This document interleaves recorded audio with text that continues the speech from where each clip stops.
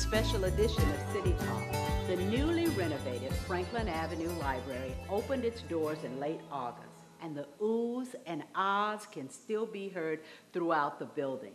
The Franklin Branch Library is pursuing the LEED Platinum status, which would make it the first municipal building to achieve the highest award from LEED. Today's show is all about Franklin.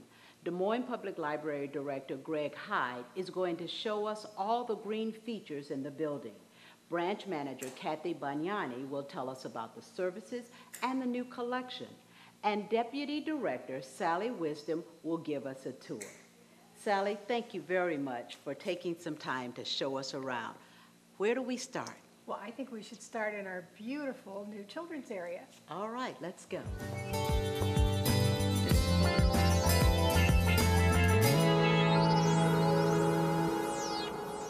Ser- uh, series of community meetings, and one of the things that the neighborhood really asked for was a beautiful new children's area. And we have it here. Oh, my. And so in this small area, we've got books. These are mostly new books, New books. uh, new DVDs, new CDs. This is the first part of the children's area that the children will come into right inside the front door.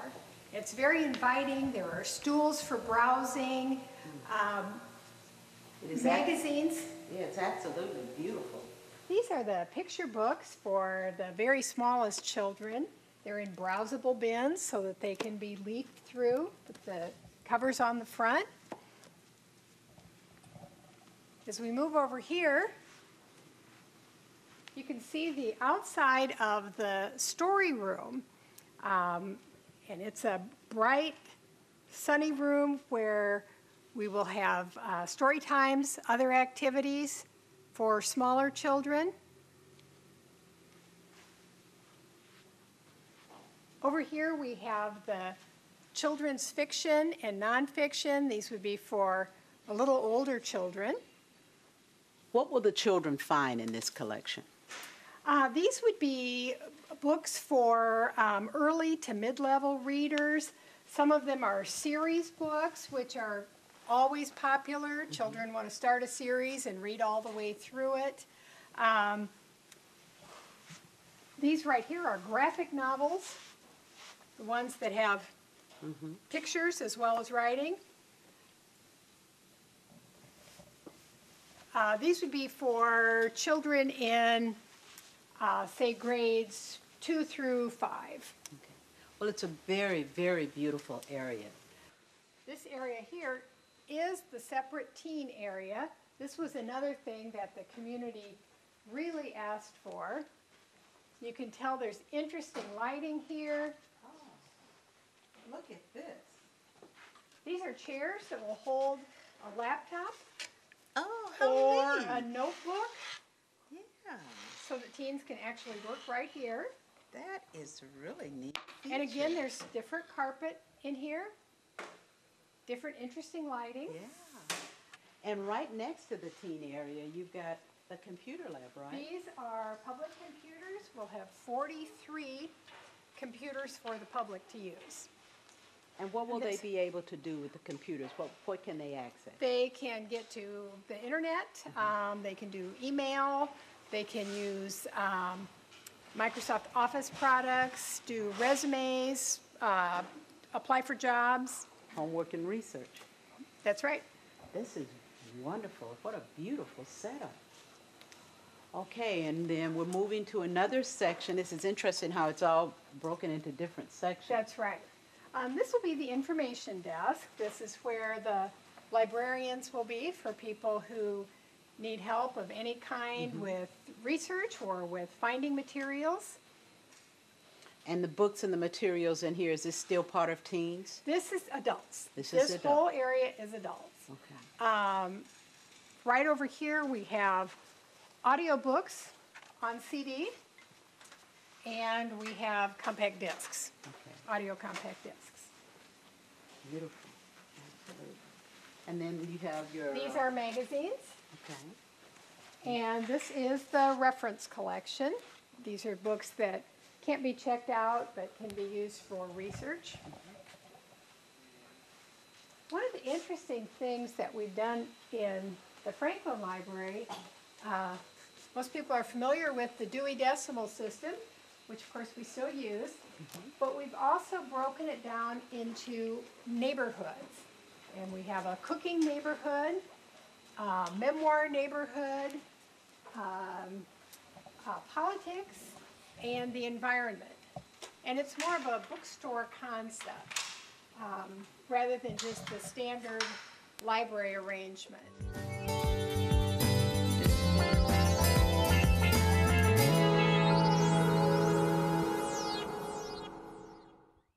I have the privilege and the responsibility of directing a Shakespeare troupe. It can be challenging, but it's always compelling and it's always a learning experience. I learn a lot from what Shakespeare has written, and I learn a lot about what people bring to Shakespeare. Shakespeare is a treasure chest in terms of all the characters that he contains. You look at all those people inside that treasure chest, and you learn a lot about life. My name is Lorenzo, and I geek Shakespeare. Reducing, reusing, and recycling your household goods is an important contribution to our impact on our environment. So I encourage each of you to pitch in the blue bin and recycle more. Hey, Ace, can Bill recycle this? That's right, only glass jars and bottles can go into the recycling bin. The other glass is just trash. I'm pitching in. Hey Serge, can Bill still recycle this? Fill up your blue bin and help keep service costs down. I'm pitching in. Hey Cubby Bear, I got aluminum cans, soft drinks, and beverages. Can I recycle these? Let's all recycle, especially aluminum cans. I'm pitching in. Thanks for pitching in, guys. By recycling your household materials like plastics, paper, metals, and glass, you make our community cleaner, you increase the life of our landfill, and you generate cash. Thanks for pitching in. With Des Moines' new smart card parking meters, there is no need to carry around a pocket full of change. There are over a thousand parking meters that now accept the new smart cards. Use your smart card at downtown meters. Insert the card and buy time on the meter. Come back, insert the card again, and the remaining value is refunded back to your card. You can purchase smart cards at any one of the three vending machines, which are located at City Hall, the 3rd and Court parking garage, and the 9th and Locust parking garage. Get yours today and leave your change at home.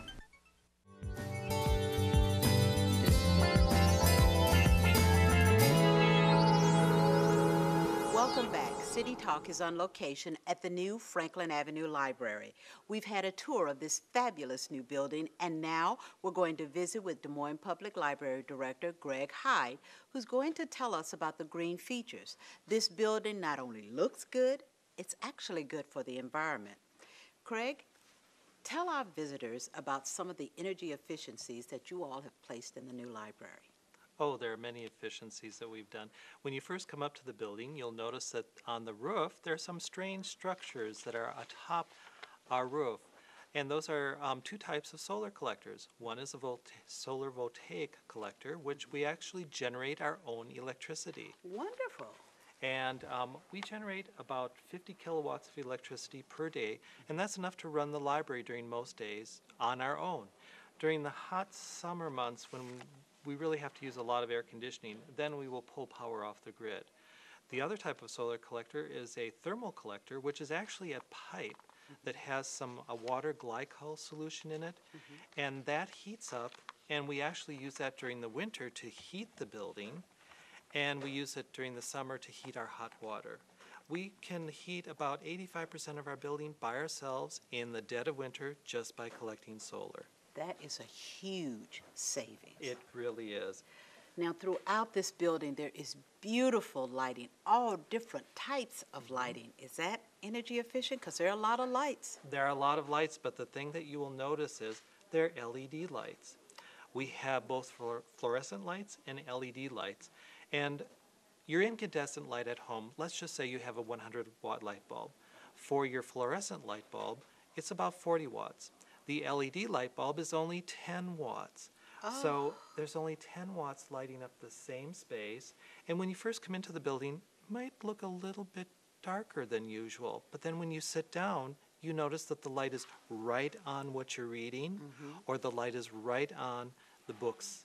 So it's a very efficient way, and actually, LED lights will take about 10 to 15 years before you have to replace the bulb. What a savings. What a savings. Okay, now windows. I know you're saving on lights, but there are a lot of windows all the way along Franklin.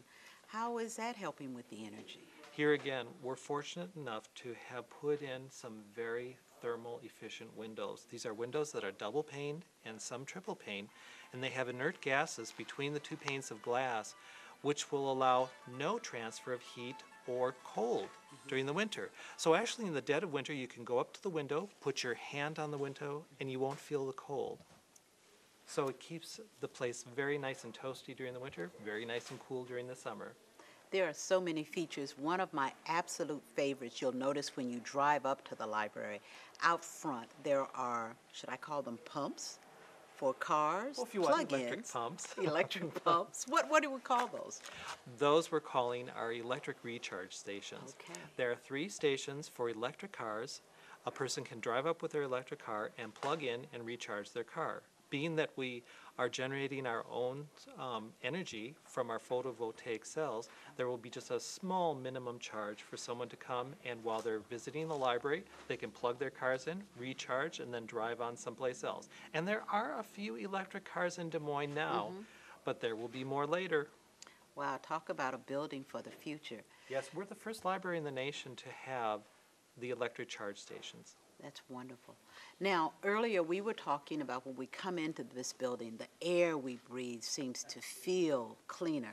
Tell us about that, because you said there's a reason for that. Well, now, when you came into the library, did you smell any new carpeting smell, or did you smell any new furniture smell or wood Nothing. smell? Absolutely, I didn't smell anything. That's a very good thing, and that's one of the reasons that we went with sustainable LEED um, construction. Actually, those smells that you smell at home when you carpet your home, those aren't very good odors that are coming out of your carpet. Those are VOCs that are being offset from the carpet while it is new. What we strove for is to achieve no VOCs or mm. very low VOCs. We didn't want those somewhat carcinogenic odors to be in the library. So all of your carpet, all of your furniture, and the wood has been selected from oh. post-consumer recycled materials and materials that will not emanate any odors whatsoever so that you have a very clean and fresh environment.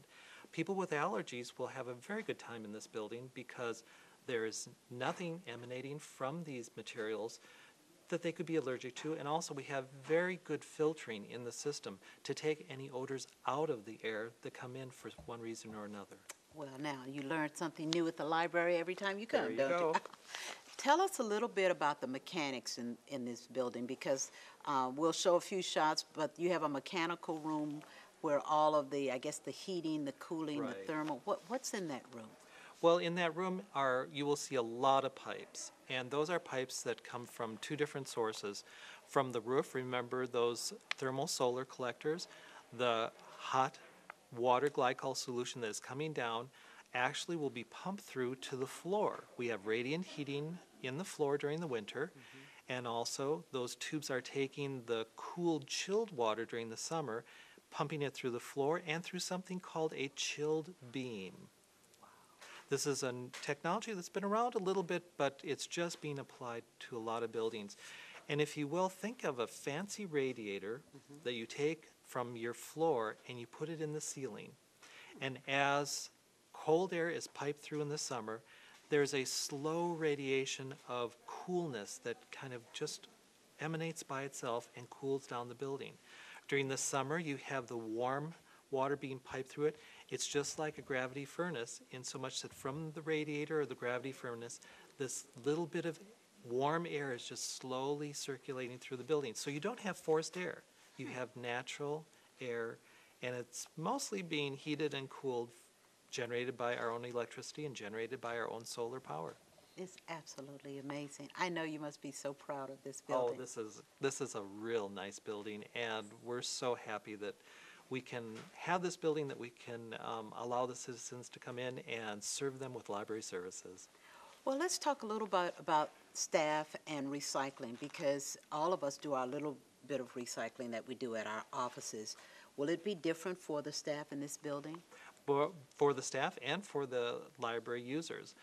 The, when a library user is using a piece of paper and instead of throwing it away and it goes to the landfill, we will be having, put, we will be putting in place a full um, recycling system where that paper will be recycled as um, paper. If we have any plastic bottles, any glass, that sort of thing, that will be recycled. And then we've even gone so far as with the staff, scraps from the lounge. You know, you eat your pizza and you have a little bit left over. It doesn't go in the garbage, it goes in recycle bins. And we will be using vegetable scraps and things like that that we will, we will be taking over to the community gardens that are nearby and using it for compost for the community gardens. Well, now that we're talking about the gardens, I noticed that there's also some special landscaping that goes with this building. Can you tell us anything about that? Well, we so many times you have buildings that are built and they put um, designer landscaping and designer trees that look pretty, designer bushes that look pretty, and we wanted to go one step further. No, in addition to looking pretty, we wanted these um, trees, the grasses, and the bushes to be native to Iowa, so that in the midst of the scorching summer, we wouldn't have to water them as much as a very pretty non-native plant. During the winter, we didn't want plants to be frozen out with a heavy winter um, frost. So these are plants that are native to Iowa. These are plants that we don't have to go to um, great means to keep them alive. And also, this is promoting plants from Iowa. plants that we should be proud that are growing here. Our Iowa natives. Yes. Well, Greg, thank you. This has been very helpful. Uh, I don't think people realize that there's more to this library than meets the eye. It's not just pretty, it's also healthy. Well, thank you. And for people that want to learn about more of the uh, sustainability, the green features, we do have an interactive panel when you come in that you can learn about all of the other green features and sustainable features of this building. Just come on in, touch the panel, and learn more about this building. All right, thanks a lot. There's still more to come on the new Franklin Avenue Library. What's new in the collection and the services? We're going to take a quick break, and when we come back, we'll continue our visit. Stay with us.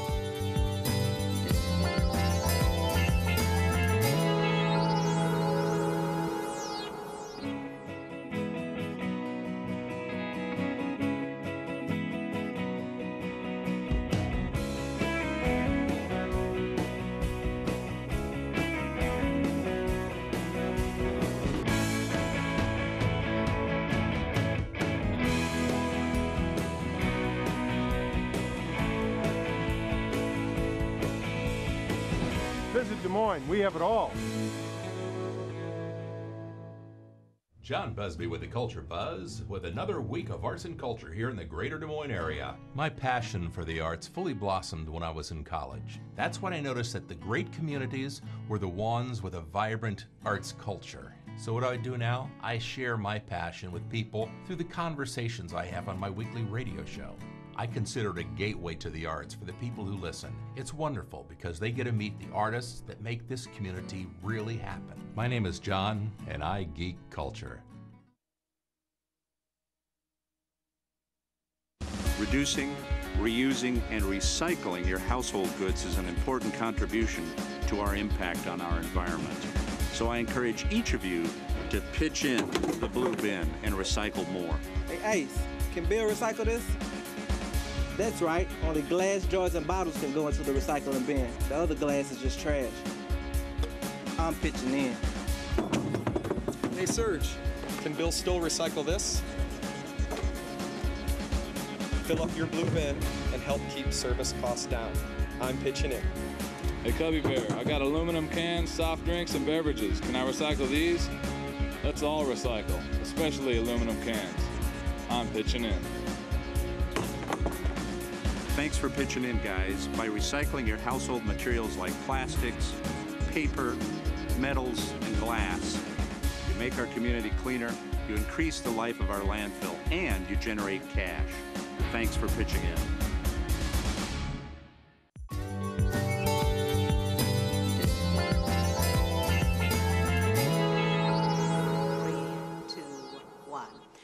Welcome back to our special edition of City Talk on location at the new Franklin Avenue Library. We have had a tour of this fabulous new building. We've learned about the energy saving features, and now we're going to visit with Kathy Bunyani, the branch manager here at Franklin Avenue Library. Kathy, thank you for visiting with us oh, today. Oh, my pleasure. Well, everything here is new. So, my first question is what about the collection? What do we have here, and how much of it is new material? Well, we have about 105,000 items that includes books, audio books, music CDs, magazines, um, and of that collection, we will be adding, a, we will have about 8,000 new items in the collection. And so that is very exciting. Some of those are old favorites that we've just gotten new copies of, and mm-hmm. others are just brand new titles that were out this year. You know, libraries are so different. When you walk through this facility, it feels more like a bookstore. It, it just has something about the feel and the colors, and the, it's just alive. So when you look at the new materials, libraries just aren't for books anymore. No, they aren't. And in fact, there's a lot of information online that people can access on our databases here at the library also. Um, but uh, the, uh, talking about the displaying, we, it's one of the features that we did try to go for with the collection is to have a lot of uh, face out mm-hmm. shelving in different parts of the collection so people could see the covers of the books and it is a little bit more like bookstore marketing, maybe. I saw a few of my favorite movies on the shelf, so I know I want to double back and check those out. Uh, tell us about the hours. What will be the hours here at the new library? The hours will be 10 a.m. to 8 p.m. Monday through Thursday, 1 p.m. to 6 p.m. on Friday, and 10 a.m. to 5 p.m. on Saturdays.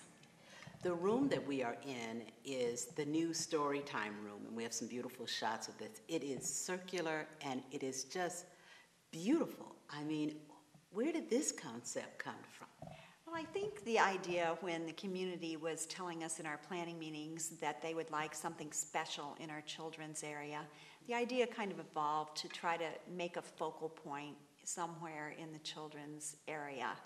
And so after talking it over a bit, we decided a place where people could read during the afternoon hours or do story times during the mornings when we have our, some of our younger children here or our school groups coming over might be, make a nice special feature for children. Well, now, if parents want to bring their kids over, tell us what's going to be offered for story time here at the new Franklin Avenue Library. Um, we have story time Monday through Thursday mornings, and we have one each day for um, a different age group. So we start out with our babies, baby rhyme time, on Tuesdays at 10:15, and we have uh, fun with one's rhyme time that will be on Thursdays at 10:15 a.m. Then we have toddlers who are three year olds for the most two and three year olds, and they will be on Wednesday mornings at 10:15 and at 10:50. And then finally, our preschoolers for ages three to six, and they will be on Mondays at 10:15. We also squeeze in uh, a story time and a craft program on Tuesday afternoons at four for after school children up to about second grade and they can also come and hear a story. Okay. I also noticed, well, you can't help but notice that there's a beautiful teen area. Will there be different or special programs for teens at this new library? We are planning to hold special programs for teens, and those mostly will be on Monday afternoons after school. Um, we have a teen advisory board, and we will also have teen programs pretty much most um, Mondays. This library has an incredible amount of green and sustainable uh, features. So is that also going to be part of the programming offered here? It is. We've made a commitment to try to do at least one program for children, teens, and adults every month during our first year that has something to do with um, green living or environmental um, factors. And our first one is going to be on um, Tuesday, September 27th at 6:30, and we're calling that one the Energy Efficient Library. Our architect is going to come in and talk about all the green features of the building. And there are lots of them. There It- are. It's amazing. But, you know, that just goes along with the beauty is, is all of the sustainable features that are in this library. Uh, let's talk a little bit about the adults. You have book groups here, and, and you also have services for adults as well. We do. We have two book discussions every month. One in the afternoon on the first Thursday of the month at 1 o'clock, and one on the second Tuesday of the month at 6:30. So we have something for people who like to come during the day and also people who uh, might like an evening program. We are going to be doing a little bit more adult programming this next year, um, but we also have a very active Friends of the Library group that adults may Yes. join. And they do some programming and also do a lot of volunteer activities in the library to, to support our services. Of all the new things that are available in this building, what do you think people will notice the most in terms of services or the facility? Well, in addition to the collection, which I, I know our readers in Northwest Des Moines will really appreciate, I think they might appreciate the increased number of computers the most. There are so many more needs for people to apply for jobs using a computer or to do, for students to do their reports and homework using a computer, that I do think that they will really notice that we have a lot more of those available for them. So that, in addition to the collection, will probably be um, one of the things people will notice first. Well, Kathy, there is so much here. Um, I wish we had more time, but we're about out of time. I guess the biggest thing we could say to people is that you really do need to come and visit the new Franklin Avenue Library. But thank you very much for visiting with us and for sharing your brand new home with us today. It's been fabulous. Thank you so much. That wraps up this edition of City Talk. I hope you will join us again here on DMTV, City Cable Channel. Every month, we try to visit a different department and bring you new information about our community. Today's program can be seen again during the replays on the dates and times now listed on your television screen. You can also watch us online. Go to www.dmgov.org and click on Watch Live. DMTV is provided to the City of Des Moines by MediaCom Cable. The channel is in the digital lineup, so you'll find us 24 hours a day, seven days a week on digital channels 86 and 97 1. I'm Amelia Hamilton Morris. Thank you for watching.